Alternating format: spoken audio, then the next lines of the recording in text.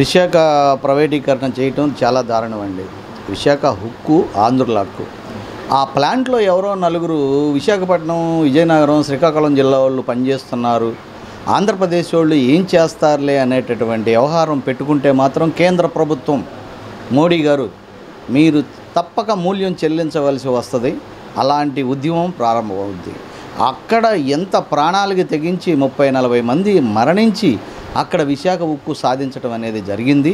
విశాఖ ఉక్కు విషయంలో మాత్రం మీరు యాశాలు అయ్యొద్దండి దుగిరాజపట్నం పోర్ట్ ఇవ్వలేదు ఏం చేశారు? రైల్వే జోన్ ఇవ్వలేదు ఏం చేశారు? స్పెషల్ కేటగిరీ ఇవ్వలేదు ఏం చేశారు?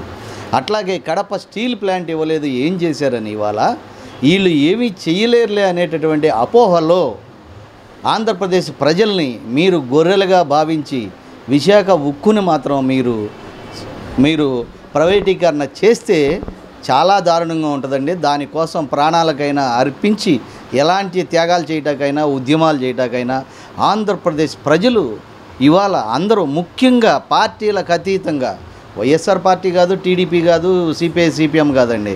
పార్టీలకు అతీతంగా జనసేన కాడించి ప్రతి ఒక్కళ్ళు కూడా ఇవాళ ఎదురు చూస్తున్నారు.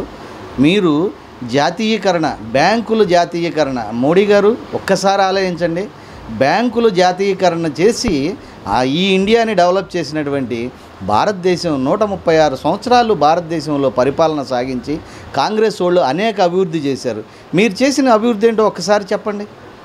మీరు చేసిన అభివృద్ధి ఏంటో ఒకసారి చెప్పండి. బ్యాంకుల జాతీయకరణ ఆ రోజు చేస్తే ఇవాళ బ్యాంకుల ప్రైవేటీకరణ.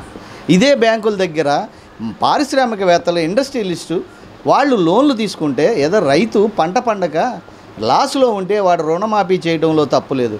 పారిశ్రామికవేత్తల రుణమాఫీ చేస్తారా? పారిశ్రామికవేత్తలకు అండగా నిలుస్తారా మోడీ గారు? ఇదేనా మీ విధానం? ఇరవై రెండు లక్షల కోట్లు మొన్న ఎవరికి ఇచ్చారండి? మీరు చెప్తే బయటకు వచ్చి పలకలు కొట్టి పళ్ళాలు కొట్టి లైట్లు తీసి లైట్లు వేసి కరోనా కూడా కరోనాలో కూడా ఇంత నరకం అనిపించిన ప్రజలకు అండగా నిలవకోకుండా మీరు పారిశ్రామికవేత్తలకు అండగా నిలుస్తారా?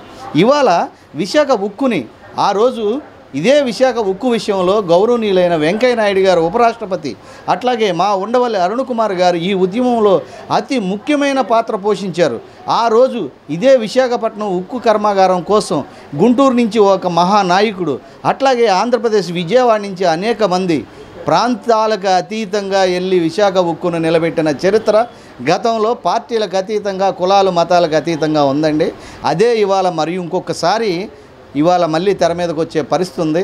ఇవాళ మీ ఇష్టం వచ్చినట్టు మీరు ప్రైవేటీకరణ చేసుకుంటూ ఏ లలిత మోడీకో ఏ నీరవ్ వజ్రాల వ్యాపారి నీరవ్ మోడీకో లేకపోతే ఎవడో సుజనా చౌదరికో ఏ రాయపాటి సాంబశివరావుకో లేదంటే ఈ మన ఈడెవడో మన లగడపాటి రాజగోపాల్ కానీ లేకపోతే కింగ్ ఫిషర్ విజయ్ మాల్యా కానీ మీరు పారిశ్రామికవేత్తలుగా అండగా నిలిచి ఇలా చేయటం ఇలా జాతీయకరణ అలా పోయి మీరు ప్రైవేటీకరణ చేయటం చాలా దారుణంగా ఉందండి.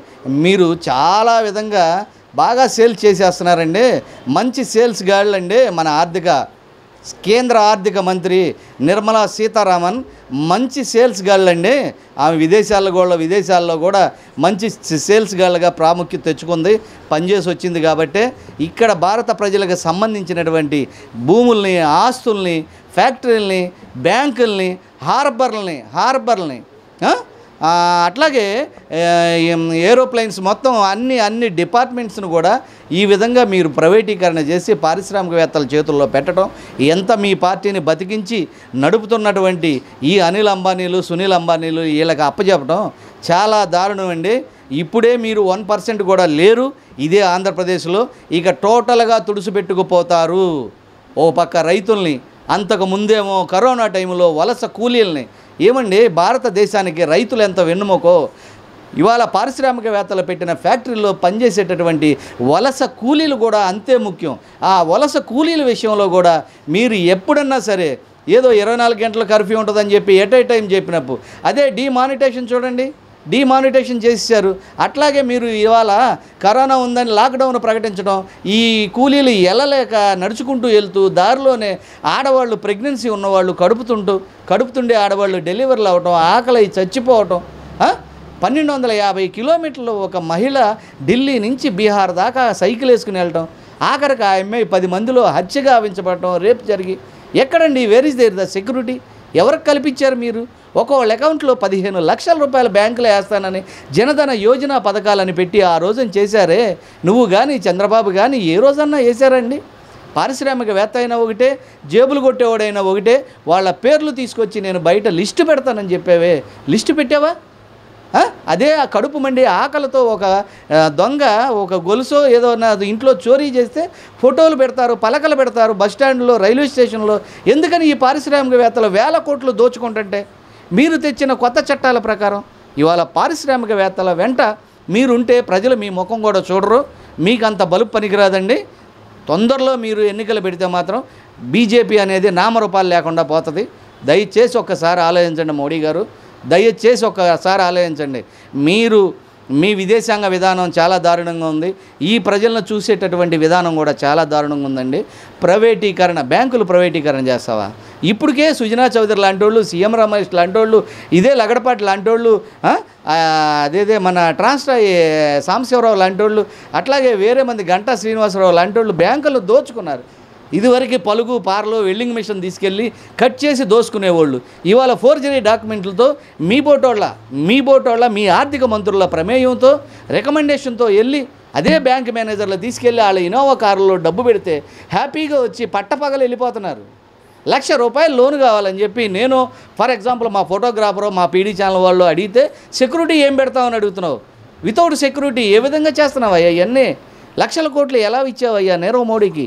లలిత మోడీకి అట్లాగే కింగ్ఫిషర్ దోచి పెడతావా? భారతదేశ ఆస్తుల్ని వ్యాపారం చేస్తావా? ఇదేం టీ కొట్టు కాదే? ఇదేం టీ కొట్టు కాదే?